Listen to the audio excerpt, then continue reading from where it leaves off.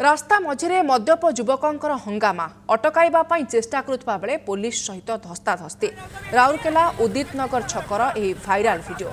Police ଗାଡ଼ି ସମ୍ମୁଖରେ ଶୋଇପଡ଼ି ବିଭିନ୍ନ ପ୍ରକାରର ଅଶୋଭନୀୟ ଆଚରଣ କରୁଥିଲା ମଦ୍ୟପ ଯୁବକ।